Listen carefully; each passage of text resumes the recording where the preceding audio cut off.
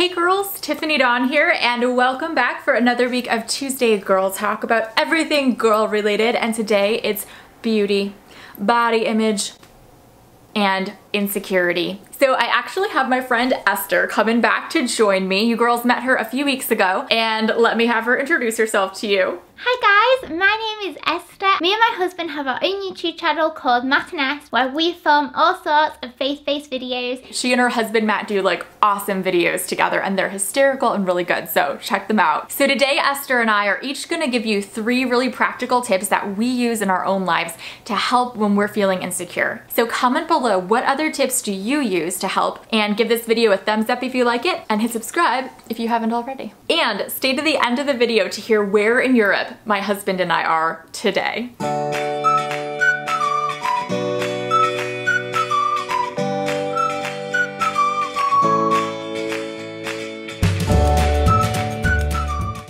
Think we all have those days when we feel just really crappy about ourselves. I know I've had many days when I'm like, I hate my hair, I hate my face, I hate my body, I hate my personality. But on those days when I feel insecure, I run as fast as I can to Psalm 139. And what I do is just read it out loud and pray it back to God. Let me give you an example. So Psalm 139 verses 1 and 2 say, You have searched me, Lord, and you know me. You know when I sit and when I rise. You perceive my thoughts from afar. And I will just read that out loud and then pray like, God, you are such an intimate creator. You know me and you love me and I'm seen by you. Like I'm not invisible to you. And I will just go through the entire psalm that way. And it just lets me know like, yes, I may feel insecure, but I am seen, I am known, and I am loved by my Father God.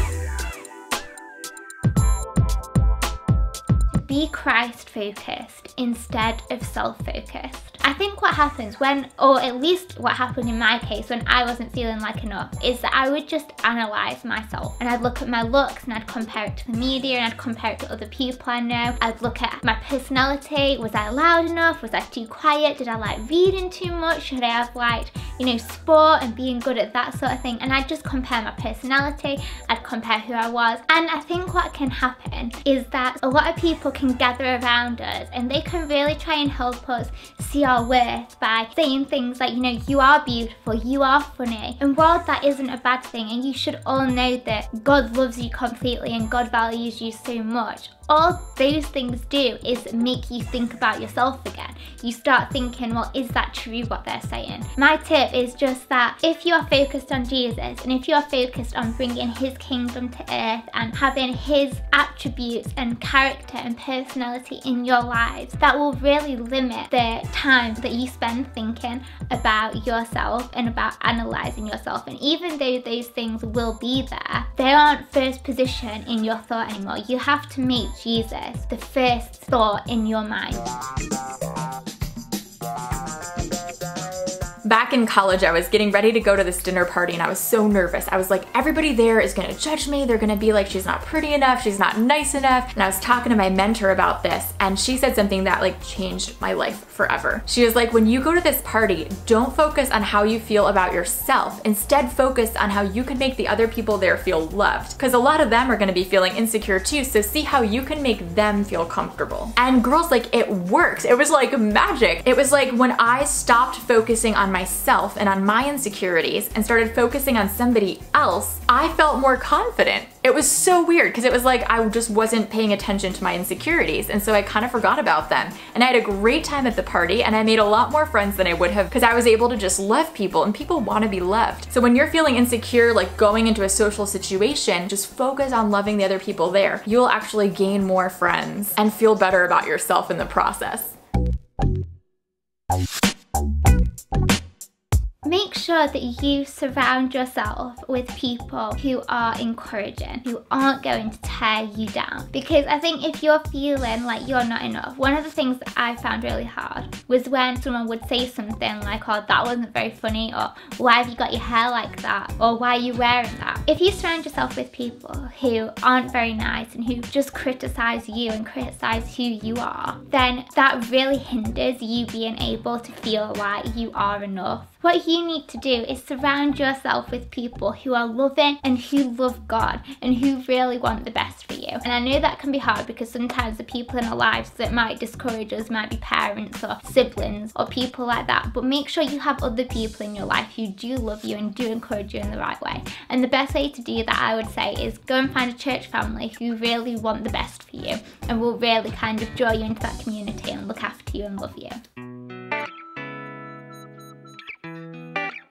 When I was in college, I got to study abroad in Australia, and I loved my time there, but the whole time I was there, I had my passport with me, and it reminded me that I came from America and I was going back to America in four months. Ultimately, it didn't really matter what the people in Australia thought of me because I wasn't from there. It wasn't my forever home. And in the same way, we need that passport, which in one sense is our Bible, that just reminds us like I came from God when He made me in my mother's womb, and at the end of my life, I'm going back to spend eternity with God. And really, this life is like studying abroad. It's short, it's beautiful, it's full of purpose, and yet it's not my forever home. Because when I, when I feel insecure, it's because I'm worried about what people think of me here in this world. And so make yourself a passport, like a visual reminder that says, oh right, this world isn't my home. I've often written scripture verses on index cards and just put them in my purse, or I'd write a scripture on my hand. My cousin like put scripture verses all over her mirror. So first thing in the morning when she looks looks in the mirror, she sees who she is in Christ. So make a visual reminder and that will put this life in perspective.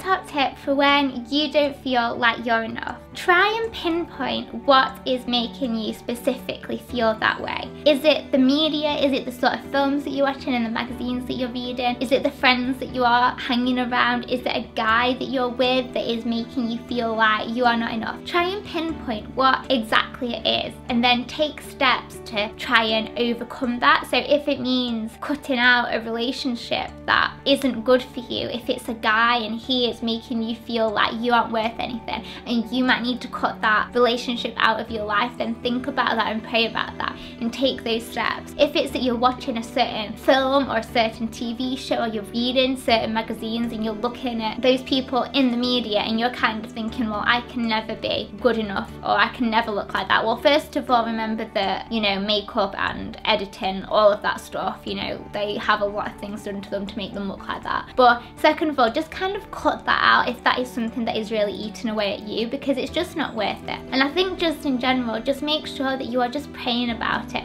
and just asking God, like, God, help me to see myself the way that you see me. The thing is, there's a problem in our society today that a lot of people don't feel like they are enough. And that is just a complete lie because God made you. God sent Jesus to die for you because he loves you so much and God wants to know you he wants a relationship with you. So those thoughts of I don't feel like I'm enough, that is a lie and it is not true. And so just really take that to God and say, God, I want to see myself how you see me. So girls, thank you for being here with me today and thank you so much to Esther for sharing. Definitely check out her channel. The link is in the description below. And comment below, like what helps you when you're feeling insecure? Because I would love to hear your ideas and steal them for myself. And where we are in Europe today, James and I are actually in Dubrovnik, Croatia today. Follow on my Instagram at Tiffany Dawn IQB if you want to see pictures, because I'm sure it's going to be gorgeous and amazing. I'll see you on Friday. Love you girls. Bye.